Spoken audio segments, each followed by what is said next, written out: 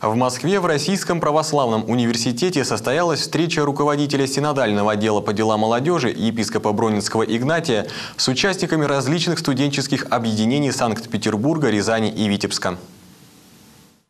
Цель данной встречи – обмен опытом.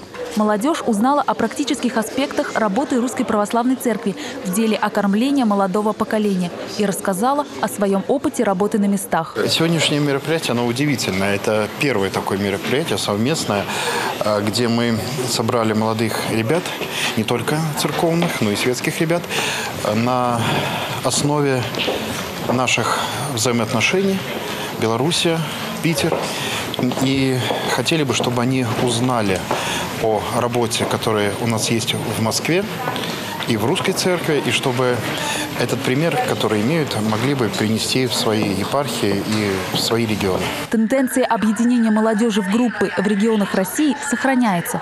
Все чаще ребята приходят к осмыслению того, что необходимо собираться вокруг единых интересов, незыблемых ценностей, чтобы противостоять и дать свой ответ разрушающим веяниям современной культуры. Судя по тому, какая молодежь пошла, вера у них, скажу, очень как мало в Бога.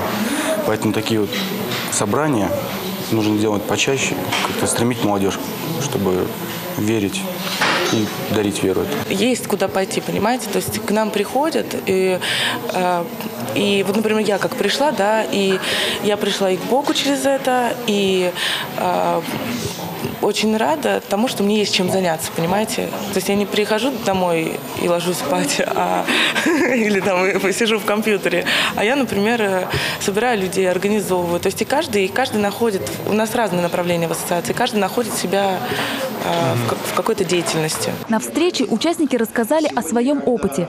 Например, ассоциация «Покров» проводит в северной столице России крупные балы, в которых ежегодно принимает участие множество молодых ребят. Интерес к совместным встречам, поездкам, обсуждениям у молодежи велик. Им только нужно дать возможность организовать и направить в правильное русло. И это у молодежных ассоциаций удается при поддержке архипастырей и пастырей Русской Церкви.